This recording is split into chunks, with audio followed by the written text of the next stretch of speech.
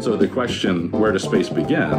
It depends on your point of view. You could really ask, where does the atmosphere end? And as you think of the atmosphere where we live and breathe here on Earth, it doesn't just stop right above our heads. It doesn't stop at Mount Everest. It doesn't stop where the planes are flying. It goes on and on all the way up and just gets less and less dense the higher you go. And it's still there at a very high altitudes when you go to where the space station is, only a couple hundred miles above the Earth. There's still enough air there to slow the space station down. And if you didn't reboost it with rockets, it would come back to Earth based on the air drag, just like when you're driving your car.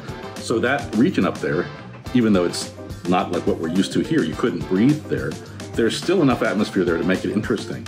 Not only is there air like we have on Earth, there's ionized gas, there's radiation. All those things together make that environment really dynamic and has something we call space weather. And in a sense, we live in the atmosphere of the sun. So there's this kind of dichotomy there where you go from the Earth, the Earth's atmosphere, then you're in the sun's atmosphere, and then at some point you're outside that when you reach the heliopause and the heliosphere boundary.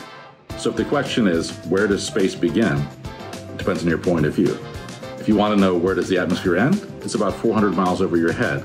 But just remember that that space above that is not empty. It's full of all kinds of interesting stuff. And that's what we study at NASA.